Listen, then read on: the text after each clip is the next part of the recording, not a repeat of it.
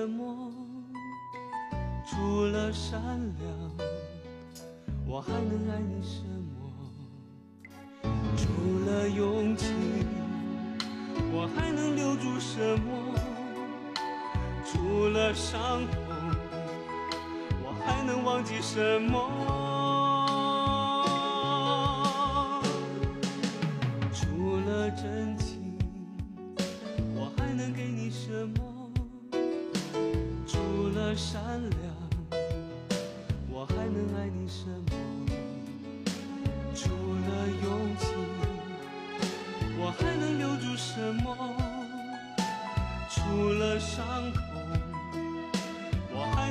为什么？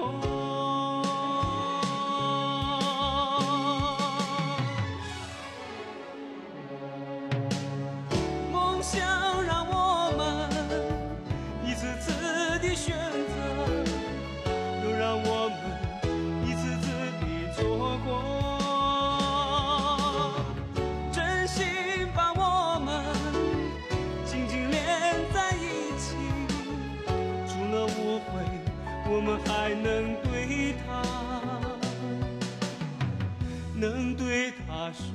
什么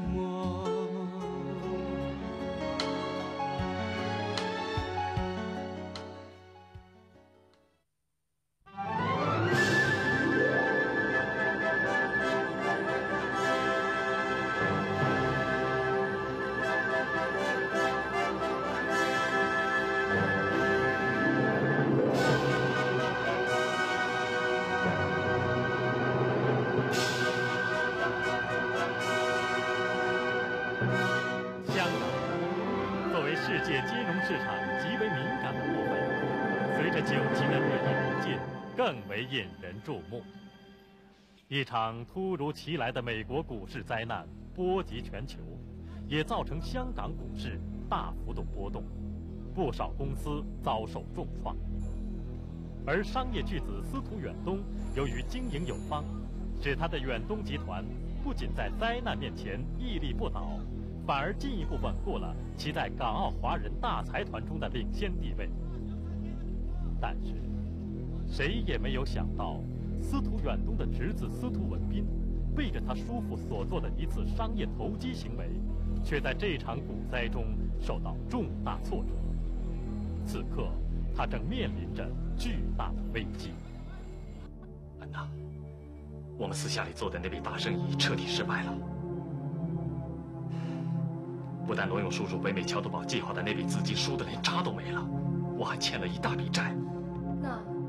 那能不能从北美桥头堡的项目资金中再挪动一些？可北美那边也出事了，你马上赶过来。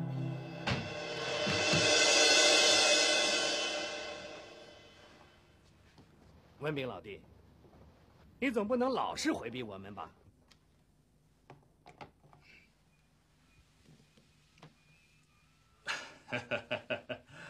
红哥，有事好商量，不至于发那么大火吧？老板，没什么事吧？你先出去吧，我要坐下来和红哥慢慢谈。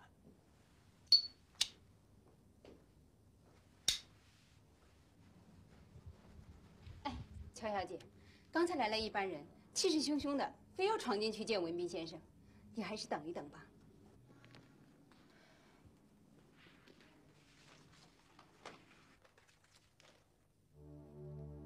司徒远东之子司徒文斌事业受挫，北美桥头堡项目被欧资控股。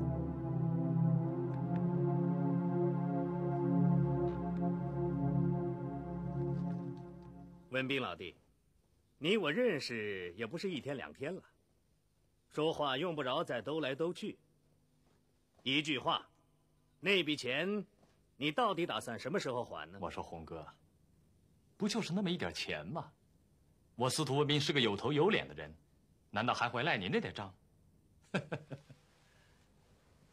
只是这几天手头确实有点紧，只要我的资金一周转过来，我马上就可以还你的债。恐怕没那么容易吧。你的北美桥头堡已被欧洲人吞掉了，我们也血本无还。这可不是一笔小数目。如果你真的吐不出来，我们就只好直接向你的叔父司徒远东去要了。到那时，就别怪我们在众人面前揭你的老底了。峰哥，你真想把事情做绝？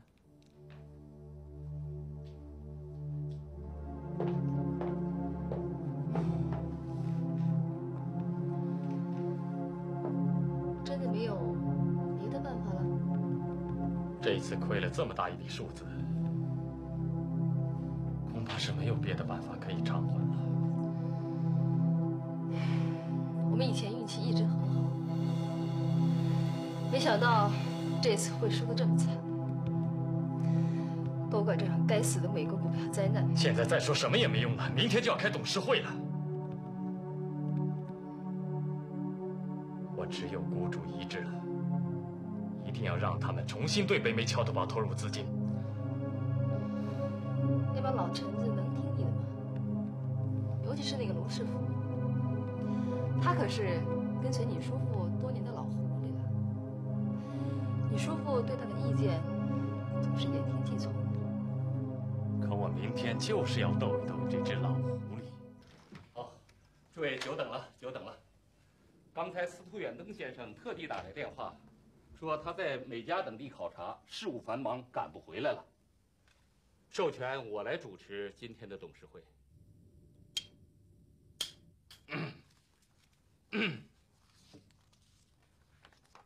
本次会议的主要议题是北美桥头堡失利之后，我们的对策。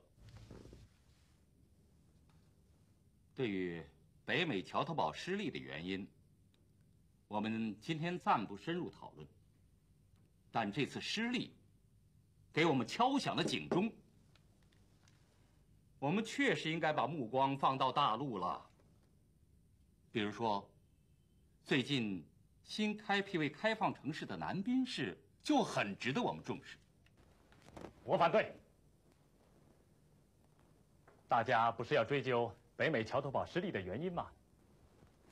这些文件将全面回答你们的问题。好了好了，既然司徒远东先生不在，像这么大的问题，我们今天暂时不做决定。正好我弟弟世焕在南滨投资了一间金色世界大酒店，下个星期举行剪彩典礼，我们可以委托文斌作为远东先生的代表前去祝贺，顺便专门考察一下南滨市的现状和投资环境。也许这样容易使我们达成共识。这恐怕还要征求一下我叔叔的意见吧。这也是刚才远东先生在电话里的意思。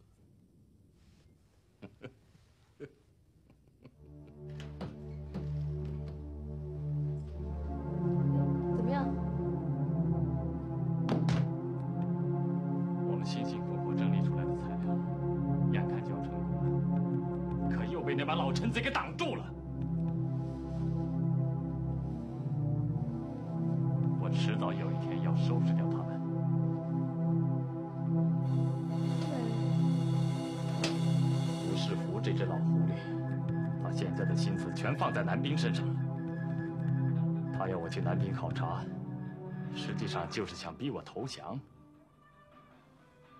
上周六，在贝鲁特发生的外国游客被绑架案件又有了最新报道。西方各国政府一致决定中断一切经济援助项目。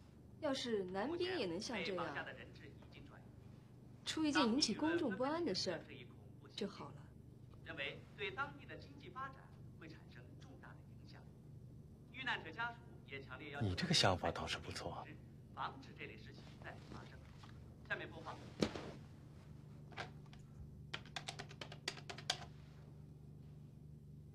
魏在吗？马上你过来一趟，我要仔细和你商量一下去南滨的事。事情办得怎么样了？去南滨的人马都已经准备好了。魏仔，你可真是我的好帮手啊！南滨，我要闹你个天翻地覆。我们南滨啊，是省里新近批准的开放城市，它历来就是连接港澳地区和内陆省份的枢纽，也是有名的侨乡嘛。我们完全有理由相信，在不久的将来啊，南滨将成为一个引人注目的投资热点。好，谢谢大家。呃，讲的还可以吗？不用重来吧？太精彩了。好，啊，大家辛苦了啊。孟副市长，嗯，孟副市长，我叫冷若冰，是电视台的记者，请问您一个题外的问题。哦，什么问题啊？目前南滨的经济发展和治安状况未能成正比，我这里有很多数字可以说明。最近进屋抢劫、绑票、勒索的案发率很高，老百姓对此很不满，也非常关心。不知道市政府准备采取什么样的有效措施？我们正在研究这个问题。公安局的领导来了没有？来了。哦，劳部局长，你坐到前面来。今天的会对你们部门很重要。这次我们南滨与港商合资的金色世界大酒店的开业剪彩活动，规格很高。正在我省访问的一位外国公主将光临助兴。还有我们南滨的老市长，担任过省里领导工作的曲志涛同志，也将亲自主持剪彩仪式。更为重要的是，香港巨商司徒远东先生将派他的侄子司徒文斌出席，并且对我们南滨市进行投资的实地考察。当南滨市上上下下正忙于周密安排和布置。准备迎接前来考察投资环境的贵宾时，公安局内部却闹出了一场不大不小的风波。谁想远走高飞啊？我这有份民意测验，请填上理由和调走的理想单位。刘干事，你先填一份。姜伟，我求你千万别给我开这个玩笑，这要捅娄子的。刘克田那小子最怕死了。咦，老赵，来来来，你来一份。我呀，命中注定是警察办的。来来，大家填。来过来。原因没有住房，工作太危险了，工资太低。姜文，方静。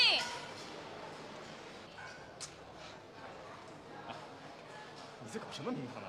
不是你叫我了解一下咱们警察的思想状况和苦恼吗？我也没让你这么搞啊，这不省事儿吗？坏了，哎，这不是捅娄子了吗？老局长大发脾气，要你马上去见他了。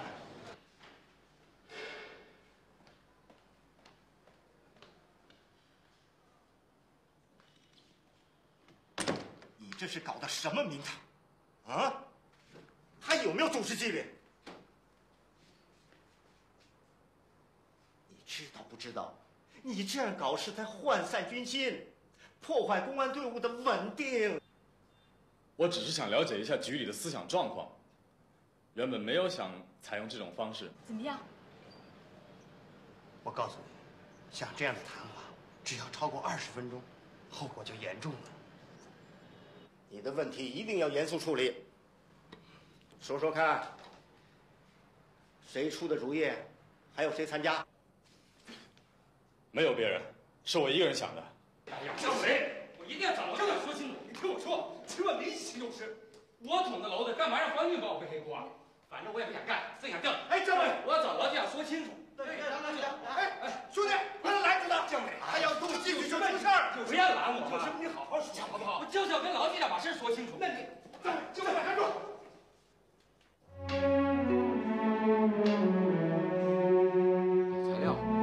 闯祸闯的还不够大。你们知道事情闹大以后的结果？你们都回去安心工作。方训的事我来管。来，姜伟，姜伟，姜伟，老材料你写就行了，走吧。什么事啊？回去回去。哎，快走走。哎，这下你放心了吗？老材料一去，城堡就没事儿了。这事啊。都怪我没有及时向你汇报。我要写一个反映公安内部思想状况的材料，我让方俊给我收集点反面材料供批判用。要说错错在我，不关方俊的事儿。你要处分，就处分我好了。你先回去写检查吧，听候处理。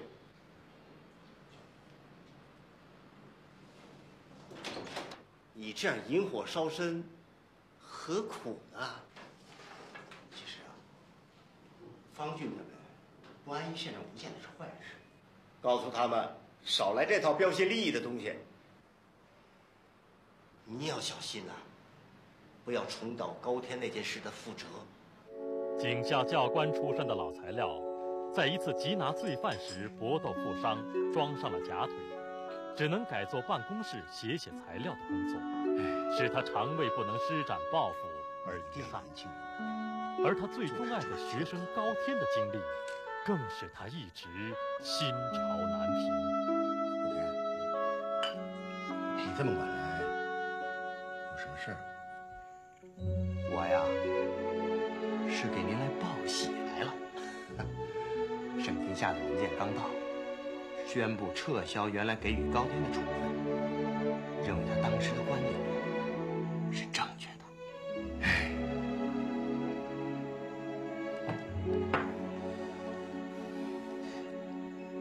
高天到底是怎么回事？你怎么一提到他就叹气呢？高天呢，是他在省警校时一个得意的学生，后来分配到省厅工作。前几年，厅里为了培养年轻干部，把他分配到南滨来挂职锻炼。没想到，在一次经济案件中，他用了超前的观点去办案，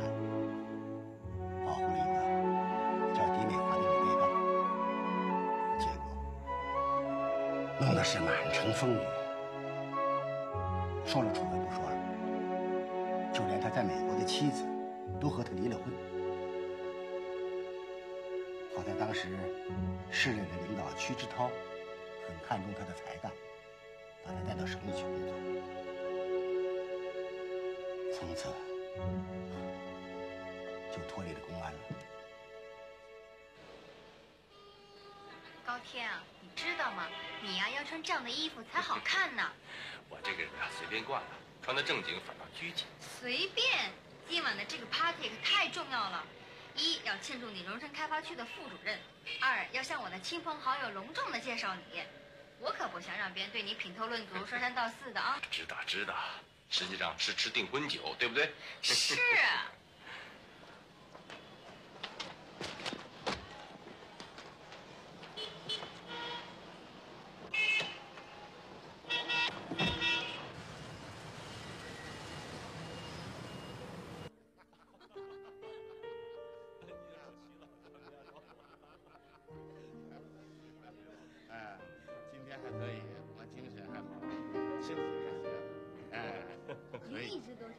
是吗？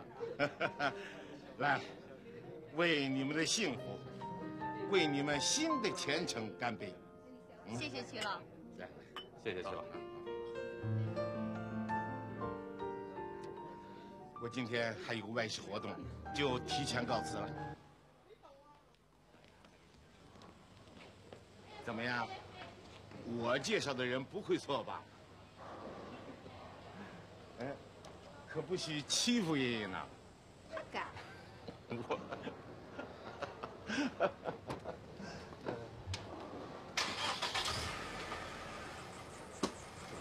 再见，齐老。再见。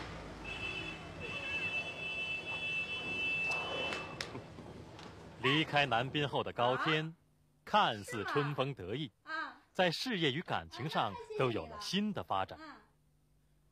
一纸撤销处分的文件，却又勾起了他心中的波澜。哎，好嘞，再见。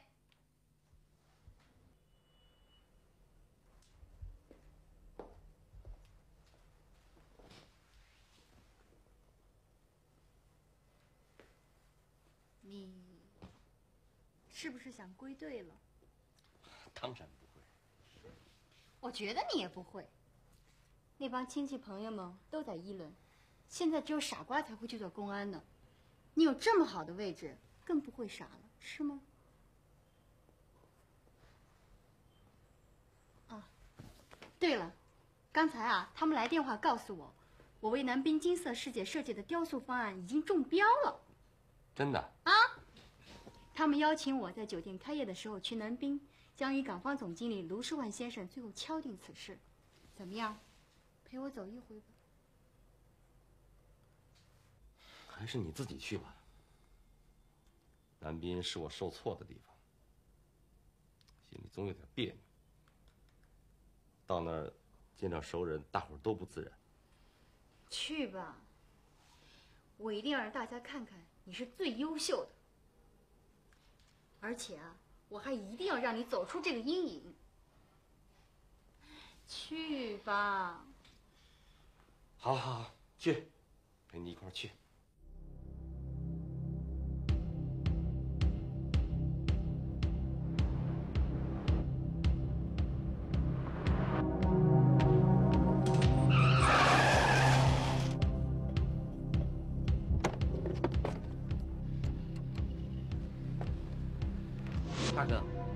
这次及格了吧？动作还要快点，一点差错也不能出。有您二十四 K 的红棍杀手亲自指挥，怎么会有差错呢？在香港地的江湖上，谁不知道我们廖怀玉廖大哥的名头？小心无大错。对于南滨，我们并不熟悉。现在大家分头出发，潜入南滨以后，在一号地点集合。记住了，在南滨，我们的绑架目标就是这个人。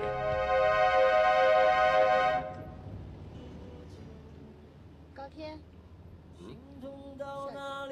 高天绝没有想到，这次重返南滨会使他和他的老师在无意中卷入一个骇人听闻的阴谋之中，让他面临着人生最为严峻的选择。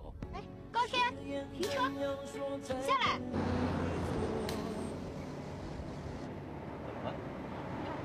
看多漂亮！高天，你快点过来，这儿特别漂亮。来来来，都过来，到那边好好看看。大哥，就这么档子事儿，在香港都演习过好几遍了，用得着你那么费心吗？小心驶得万年船，这条道咱们没踩过，还是小心为好。高天，你来，你快点过来。大哥，有人在拍我们，走，看看去。啊！干什么你？乱拍什么呢？我拍风景啊。把机器拿过来。喂喂喂喂！你们要干什么？你是什么人？哎哎哎哎哎！对不起，我们是外地的游客，刚来南滨。呃，刚才这位小姐把我们拍进去了，所以拍你们干嘛？我们也是游客，我们自己拍着玩呢。好，看来是误会了。那咱们走吧，别扫人家兴。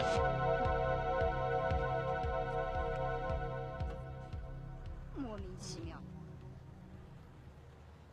走吧。喂，老胡，老高，你怎么也跑南滨来了？港商啊，在南边投资的金色世界要开张剪彩，据说从国外请来了一位公主和香港一个大财团的代表来啊。省厅很重视，派我和欧强下来加强保卫。哎，老高，真没想到你在这儿，大哥，哎，老胡，喂，这么亮的宝马车啊！哎呦，漂亮小姐，摄像机什么都有。哎，拍电视剧怎么了？开玩玩。你认识一下，老赵啊，姜伟，这都是以前的老搭档了。你好，你好，老搭档，是当年的老搭档，啊，现在差别可大了啊！你看看，他现在要比咱们留在公安的强多了。说真的呀，钟副厅长确实很看重你啊。怎么样，重新归队干公安，来南滨大干一场吗？如果你现在处在我这个位置上，你会回头吗？确实难啊。啊，不谈这些了。我这次到这儿来啊，纯属陪同，不谈工作。唯一要做的，就是去看看咱们徐老师。是啊，徐老师当年为你担当了不少啊。现在你好了，是该去看看他呀。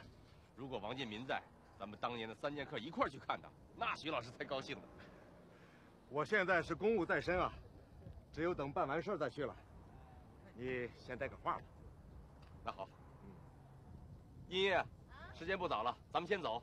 我们先走了啊！好嘞。好，照顾咱们老高啊！老赵，再见，老高，有机会都来看我们啊！别把咱们给忘了啊！再见。啊。哎，老胡啊，看人家现在。哎。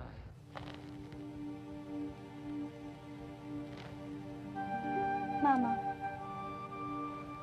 我就要离家，到美国去留学了。我没有辜负你对我的希望，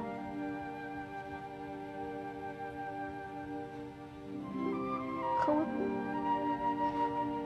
可我放心不下爸爸和弟弟。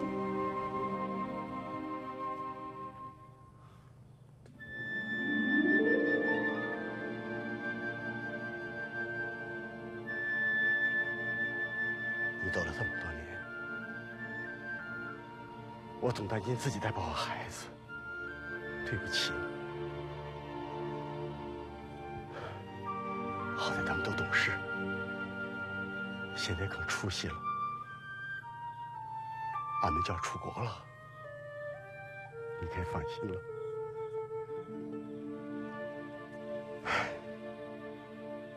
只是阿雷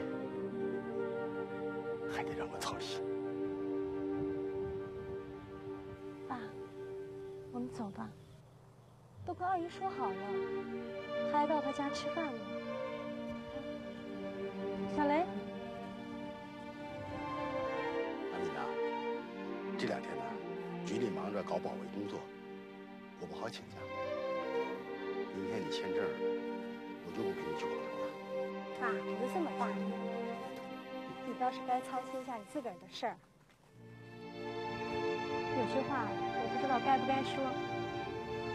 妈都去世这么多年了，二姨一直对我们都挺照顾的。我看二姨对你有点意思。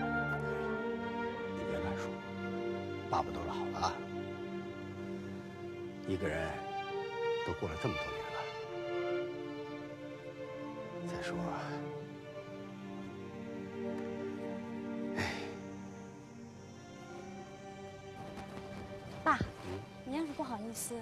我去替你向二姨说说。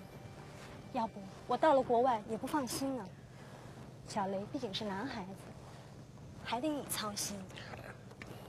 行了，这个事儿我自己想吧。啊。老材料怀着兴奋的心情去见二姨，和二姨憧憬着一种新的生活。他一点也没有预感到自己还会遇到什么意外的灾难。这么浓的药味啊，干什么呢？不就是给你的膏药吗？你的腿呀，每到潮湿的季节总要发炎，免不了的。真是多亏你有心呐。可现在不是还早吗？我看了天气预报了，说是今年雨季来得早，我怕到时候啊赶不上用，先预支着吧。阿婵呐，你也会做这个？这可是二姨的独门专利呀！这些年呐，每年我都是靠她顶着呢。那我就跟二姨学着做呗。哎呀，哎呦，怎么了？烫着了？你看看你，你等着，我给你拉红花油去。阿婵，你这么大个姑娘，成天在人家家待着，这像什么不收钱的啊！给我死回来！妈，你别喊了，我这就回去了。阿婵，等一下，我给你擦点药。这阿婵妈是怎么搞的？话越说越难听。小飞和阿婵本来从小就挺好，青梅竹马。可自从阿婵的父母最近做烟草生意发了财，就变得势利了，看不上我们小飞，是个当警察的。凭什么干我们这行就活得这么累，不被人看好？我姐姐不就看好你一辈子了吗？是啊，还有一个人也挺理解我的。谁？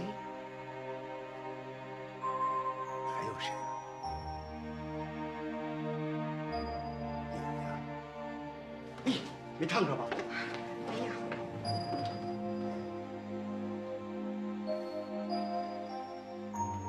父亲小飞出事以后，你一直一个人带着他清苦的过着。你对我的好处，我心里很清楚。今天阿明还专门跟我谈了我的事儿。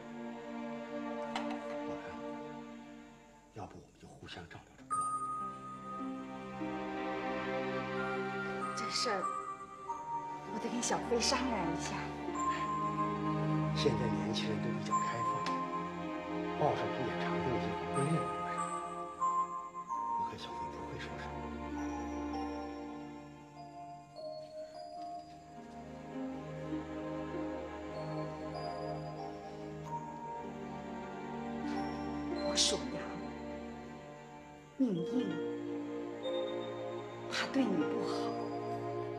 旧脑筋了。你看，我给你刻了这个“三阳开泰”，这是我的心意。你留在身边，就百无禁忌。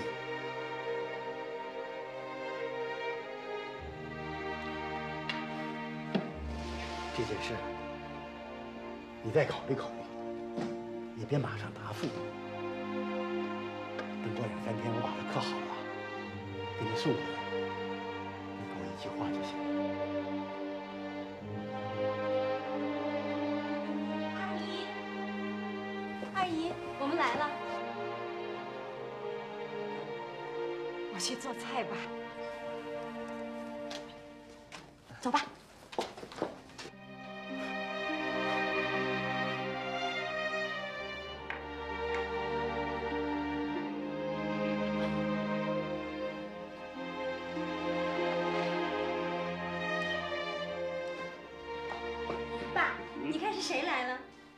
徐老师，哟，是高天呐！哎，徐老师别吃了哎你好啊。啊，徐老师，嗯，你在做什么呀？哟，这可得保密，暂时保密。坐坐坐。哎哎，徐老师，嗯，他叫吴茵茵，啊是。不用说了，我知道了。哇，是个靓女嘛？哎，坐坐坐坐。高叔叔，你知道我们家一向都很清贫，也没什么好招待的。吃点瓜子。别客气，谁说我们家清贫了？我这辈子最大的财富就是你们这些学生。来，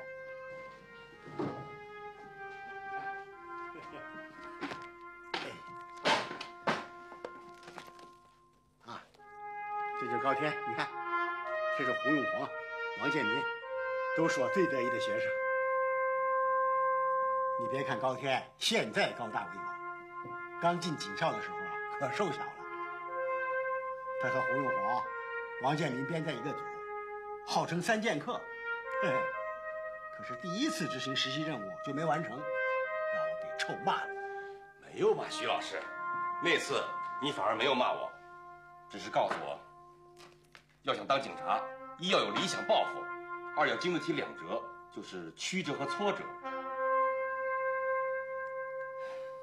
说起来，我确实愧对老师教诲。他心里总有一个结，只有您能够解开。尽管他现在不是公安了，可是大家都认为他是一个事业成功者。只是他自己一直和自己过不去。他听您的话，我今天想跟您讨句公道话。他现在到底是不是一个成功的人？当然是啊，谁能说不是啊？只不过啊，我觉得，在一切人生角逐中，最直接、最刺激、最富使命感和成就感的，还是我们这一行。对，没错。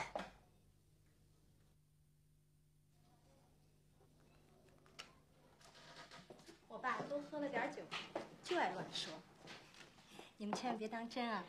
徐老师是有感而发的，他心里的遗憾太多了。这个宝马车停在外面，好漂亮啊！哦，哎，高叔叔，是你的，你开来的？是开发区的。徐老师，你一向爱车，咱们去看看。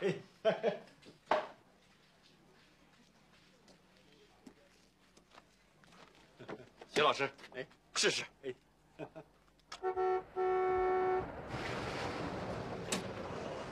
哎哎，干嘛呀？来迎接我呀？来来，哎，这就是高天，这是方俊，年轻有为的大学生，就像过去的你。你好，总听徐老师说起你来。哎，今天真是相见恨晚呐！哎，客气了，客气了。哦，局里让你明天给市委送份材料，哎，我特地呢给你要辆车，顺便你把徐敏送到马堂上去。就这破车，我这可是去美国呀！我好久没开警车了，老师啊，干脆你开宝马送阿敏，我和茵茵啊开着吉普车逛南滨，来个两全其美。这怎么行啊？别推了，老师，我知道你啊最爱玩车，我开宝马来啊，就是要给你过过车瘾的。好。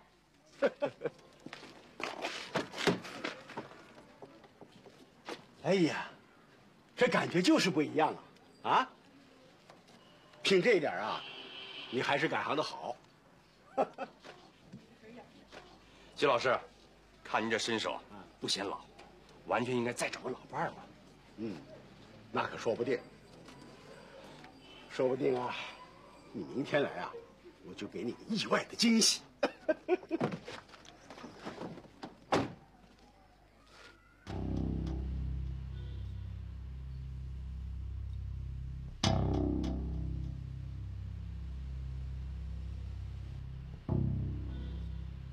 一切准备就绪。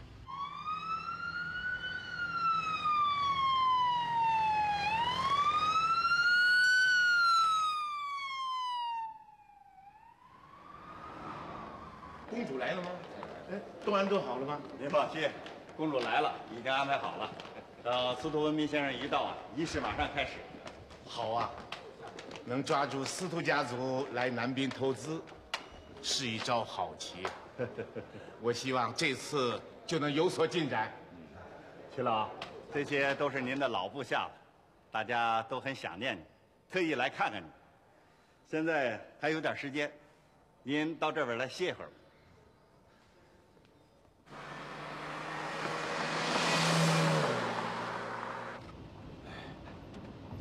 阿敏，到底是走了？爸，叹什么气呀？你不是一直都支持姐姐出国念书的吗？傻瓜。那你，是不是又舍不得姐姐走了？不，她还是应该走。年轻人应该走自己的路。老人嘛，都希望孩子比自己强，而不是像……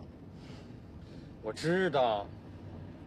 接下来你又该说，我不听你的话了，不去当警察，光知道唱歌，还剃什么黎明头，是不是？我是希望你当警察，不过我知道你是不会听我的话的。哎呀，好了好了，不要说了。这么好的音响，我们还是听这歌吧。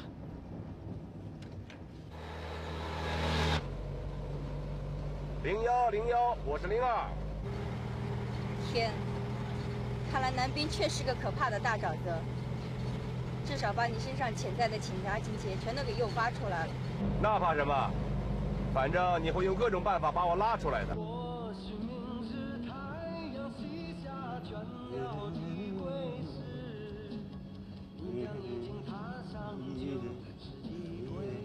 爸，啊，你也会唱？其实啊，唱歌也没什么不好。你妈年轻的时候就挺喜欢唱歌。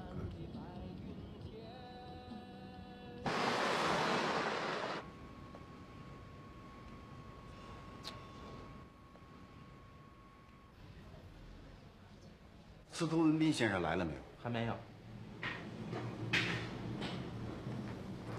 去了，是不是把时间再推迟一下？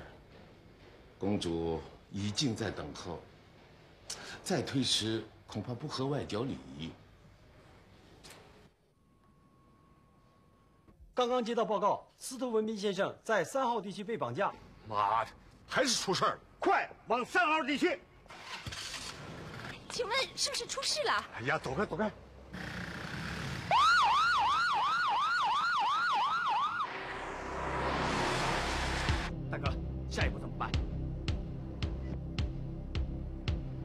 一切按我们的计划进行。大哥，全民审车。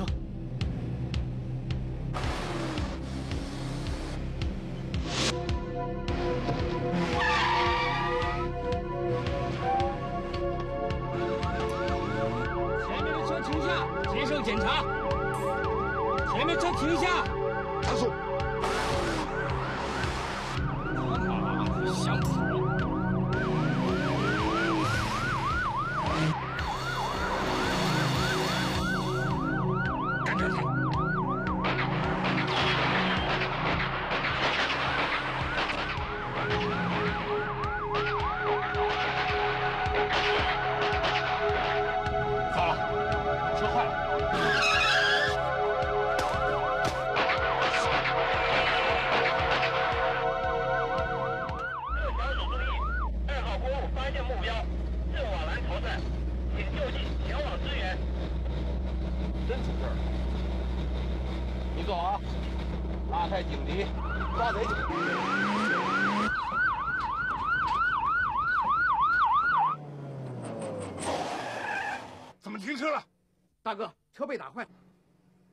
下去抢车。